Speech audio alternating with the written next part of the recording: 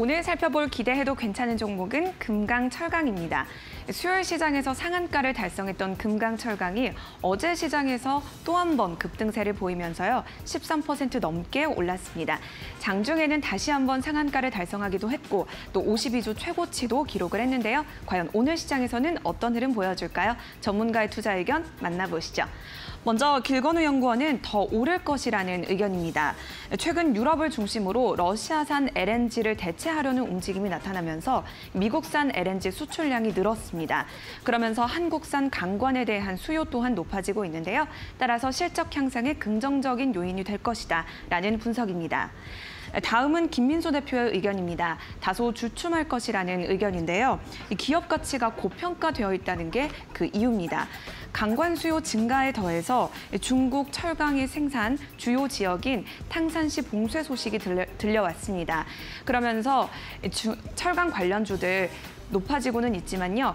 실제 기업 실적으로 얼만큼 이어질지는 다시 한번 검토를 해봐야 한다는 입장입니다. 자, 어제 시장에서 철강 관련주들 대부분 흐름이 좋았습니다.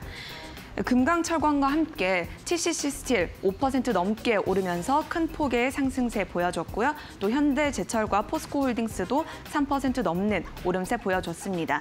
다만 하이스틸 등과 같이 하락세를 보인 종목도 있었는데요. 금강철강은 상승세 보였었습니다. 자, 그렇다면 오늘 시장에서는 어떤 흐름을 이어갈지 전문가의 투자 의견 스튜디오에서 더 자세히 확인해 보시죠. 자, 오늘 기대해도 괜찮은 두 분과 함께 하겠습니다. 레몬 리서치의 김민수 대표, 한국투자증권 서초중앙 PB센터의 길건우 연구원 모셨습니다. 두 분 안녕하세요. 반갑습니다. 반갑습니다.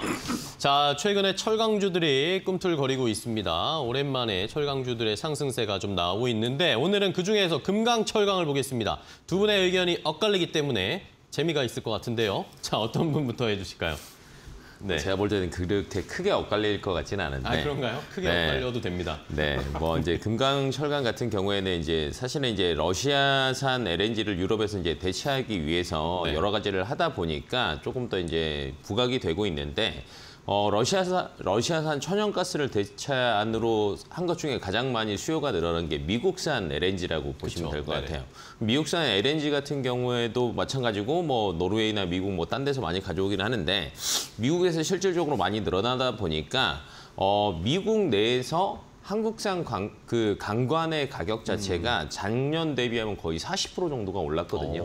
그 미국에서 수입하는 것 중에 한국산이 제일 많아요. 음. 비율로 따지면 23% 정도 되기 때문에 조금 더 이제 수면 위로 조금 올라오지 않았나라고 음. 생각이 되고 있고 사실 이제 한국에서는 수출하는 입장에서 조금 안 좋은 것들 중에 하나가 철강 232조라는 게 있습니다. 네네. 미국 내에서 이제 자국의 철강을 조금 보호하기 위해서 수입 제한으로 이제 법령을 하나 만들었는데 사실 우리나라 빼고 이미 유럽이랑 영국이랑 일본은요 그러니까요. 제협상 다 했거든요. 네. 네, 그래서 이제 사실은 고율 관세도 조금 사라지고 물량 제한도 조금 사라지다 보니까 괜찮은데 우리나라도 이달 말에 뭐 이제 미국에 뭐 방문해가지고 뭐 상무부랑 얘기한다라고 얘기를 하고 있더라고요. 그러다 보면 뭐 남, 남들도 다 했는데 우리도 좋아지지 않겠냐.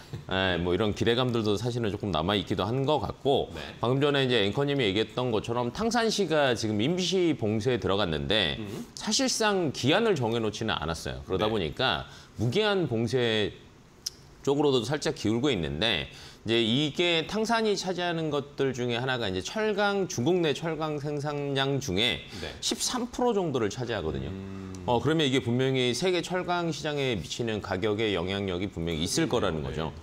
어 그래갖고 이제 최근에 보니까 뭐 칭따오 항에 있는 철강석 가격이 톤당 152달러까지 올랐어요. 그러니까 음. 수치로 보자면 작년 대비하면 한 24% 정도. 근데 탕산이 또 어느 정도 이제 무기한 봉쇄가 된다라고 하면 철강 가격이 어느 정도 오를 거고 음. 어, 가격이 오르면은 이제 판가에 전이하다 보니 반사 수익가 어느 정도 되지 않을까.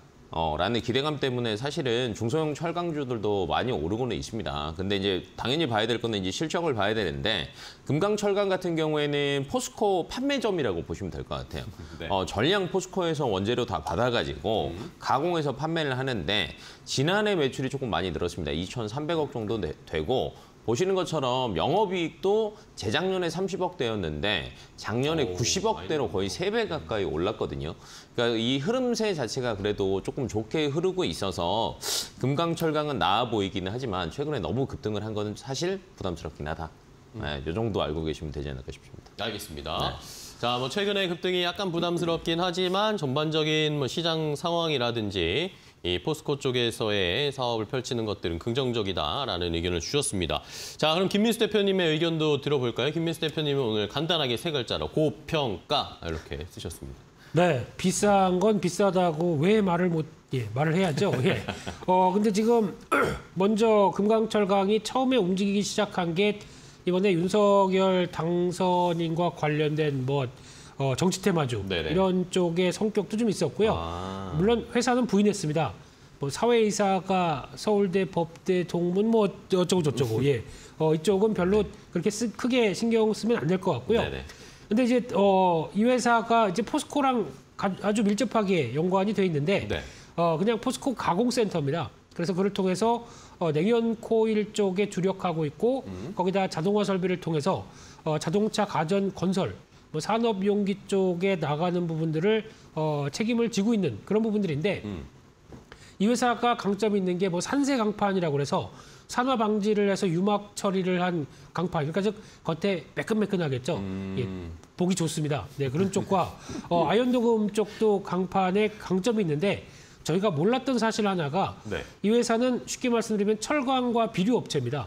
그러니까 어. 즉 요즘 비료 쪽이 핫한데 그렇죠. 나는 왜 못 알아주고 그러다 보니까 뒤늦게 동참한 부분들이 있는데 어 보니 가축 분뇨 위탁 처리 사업을 하기 시작했습니다. 그래서 이게 신사업 쪽으로 어 계약 농가를 확보하고 거기서 발생하는 가축 분뇨를 통해서 고품 고품질의 액비라고 하는데 이게 어 액체 비료죠. 이쪽을 생산하면서 이쪽이 최근에 부각받다 보니까 비료 관련주까지 뭐 자그마한 호재들은 이것저것 있다고 봐야 될 것 같은데요. 네.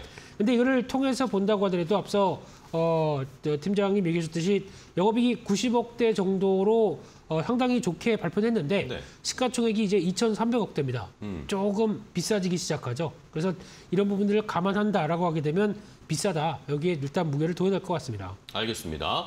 자, 김민수 대표님은 어쨌든 뭐 비료랑도 최근에 테마가 좀 엮이고 이러면서 어, 많이 올랐다. 그래서 이게 조금 올라올 만큼 많이 올라오지 않았나. 좀 고평가되어 있다라는 의견을 주셨으니까 자, 시청자분들 한번 오늘 잘 살펴보시기 바랍니다. 금강철강 어쨌든 어제, 그제 뭐 최근에 계속 급등세가 나오고 있는데 오늘 더 올라갈 수 있을지 멈출지 저희도 시장에서 한번 지켜보도록 하겠습니다.